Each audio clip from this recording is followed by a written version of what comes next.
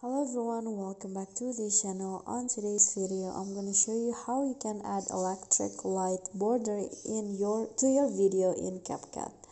So here i've already uh, import my video and to add the electric light border you can just go to the video effects and then find the spark category. So just swipe until you find spark click on that and here is the electric light front so just click on that and then you can adjust it into your liking. You can change the color uh, so that it match with your video I think. So I'm gonna choose the blue color and you can also adjust the horizontal and also the speed of the shake and the size. I'm going to make it big like this and after that you can just go back click on the check icon and set the effect until the end of the glitch or the clips or